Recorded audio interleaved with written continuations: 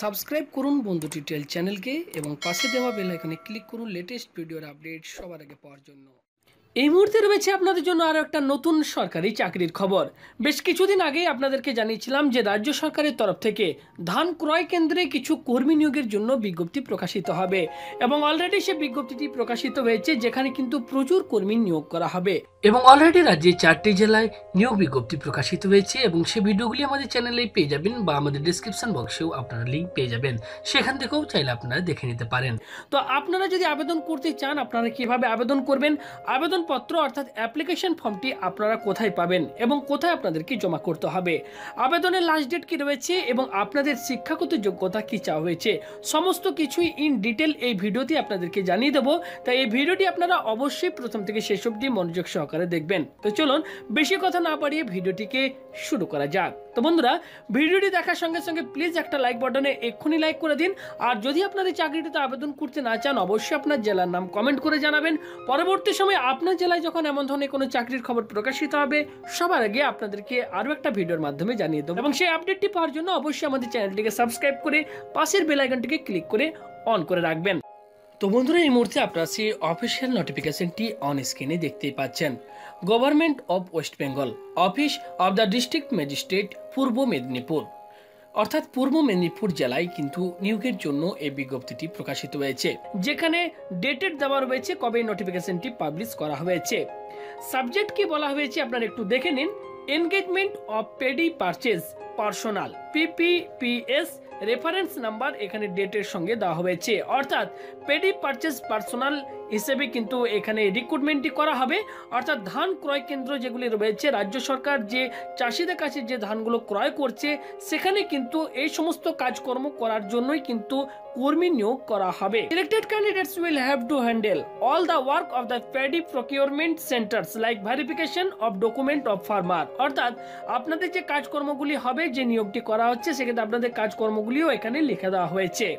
Paddy procurement centre like verification of document of farmer, অর্থাৎ আসবে যে সমস্ত চাষি আসবেন, তাদের ডকুমেন্টগুলি আপনাদেরকে ভেরিফিকেশন করতে হবে।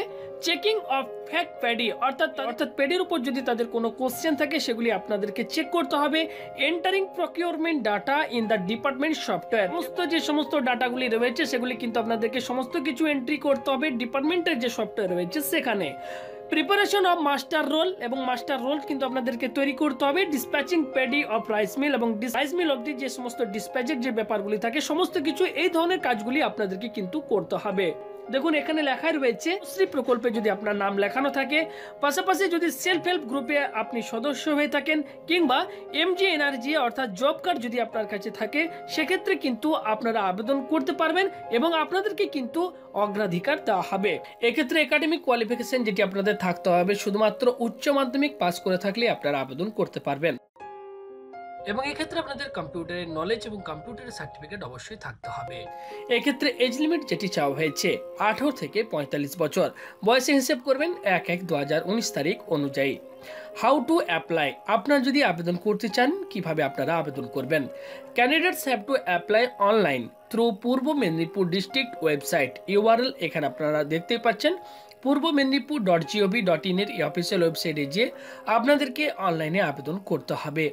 Online application have to submitted from ten A M on সাতাশ দুই দু হাজার উনিশ তারিখ ফাইভ পিএম অন তেইশ তিন দু হাজার উনিশ তারিখ। অর্থাৎ সাতাশ দুই দু হাজার উনিশ তারিখ থেকে এটির অনলাইন আবেদন প্রক্রিয়া শুরু হয়ে যাবে এবং তেরো তিন দু হাজার উনিশ তারিখ পর্যন্ত এটির আবেদন প্রক্রিয়া চলবে। এর মধ্যে আপনারা আবেদন করতে পারবেন।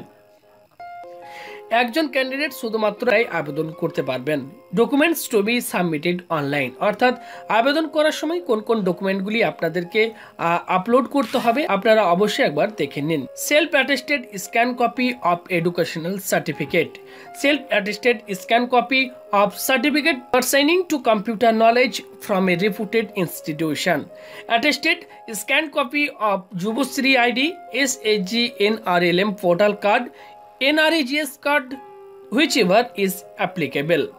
Self-attested scan copy of birth certificate, scan copy of recent passport size photograph সমস্ত ডকুমেন্টগুলির সেলফ অ্যাটেস্টেড স্ক্যান কপি অবশ্যই আপনাদেরকে আপলোড করতে হবে Aadhaar condition application through any other channel media will not be entertain any case. Candidates may be shortlisted based on highest qualification attained অর্থাৎ মেরিটের ওপর basis করেই কিন্তু এক্ষেত্রে নিয়োগ করা হবে। Selected candidate shall have to work anywhere in the district অর্থাৎ যে সমস্ত ক্যান্ডিডেটরা সিলেক্ট হবেন, তাদেরকে কিন্তু যে কোনো জেলার যে কোনো জায়গাতেই কিন্তু কাজ করতে হবে। The applicant must be a resident of Purba Medinipur district অর্থাৎ পূর্ব মেদিনীপুর, আর জেলার বাসিন্দা আপনাকে অবশ্যই হতে হবে।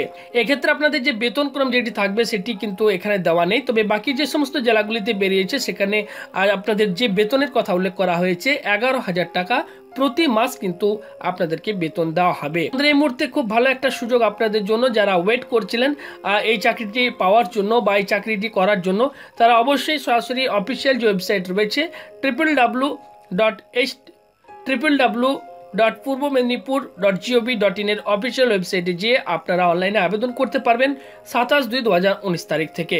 তো বন্ধুরা, আশা করি আমাদের দেওয়া ইনফরমেশনটি আপনাদের ভালো লাগবে। ভালো লাগলে অবশ্যই ভিডিওতে একটা লাইক করবেন এবং পাশাপাশি অবশ্যই এই ধরনের লেটেস্ট হেল্পফুল ভিডিওগুলি আপডেট প্রত্যেকদিন পাওয়ার জন্য আমাদের চ্যানেলটিকে সাবস্ক্রাইব করে আমাদের সঙ্গে থাকবেন। ভালো থাকবেন, দেখা হবে পরবর্তী ভিডিওতে ধন্যবাদ।